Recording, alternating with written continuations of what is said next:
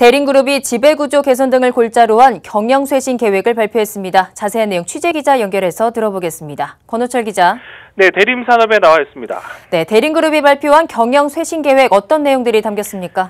대림그룹이 내세운 경영쇄신 계획은 크게 보면 일감 몰아주기 해소, 지배구조 개선, 협력사와 상생 협력 등입니다.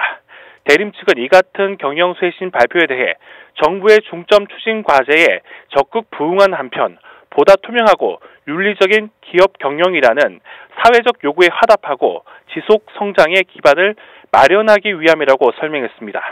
아울러 투명한 경영, 공정한 경쟁, 과감한 혁신이라는 약속을 반드시 실천해서 새로운 성장을 위한 든든한 기반으로 삼을 계획이라고 밝혔습니다. 그렇군요. 그렇다면 대림그룹이 일감 몰아주기를 어떻게 해소하겠다는 건지 구체적으로 한번 살펴볼까요?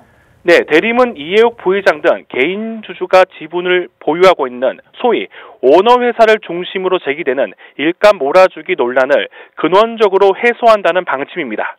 이에 따라 대림은 올해부터 신규 계열 거래를 진행하지 않습니다. 또 법령상 허용되는 필수 불가결한 계열 거래를 제외하고는 계약 기간이 남아있는 기존 계열 거래에 대해서도 거래를 단절하거나 거래 조건을 변경할 계획입니다. 또한 이해욱 부회장 등 대주주가 100% 지분을 보유한 A 플러스 D 지분을 정리한다는 계획입니다. 이 같은 계획은 내부 거래의 근원적인 가능성을 제거한다는 의미로 풀이됩니다.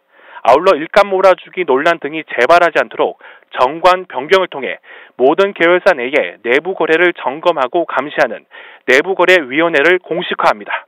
내부거래위원회에는 보고 청취권, 직권조사 명령권, 시정조치 요구권을 부여할 계획입니다. 권 기자, 네. 대림그룹이 지배구조 개선은 어떻게 진행이 되는 건가요?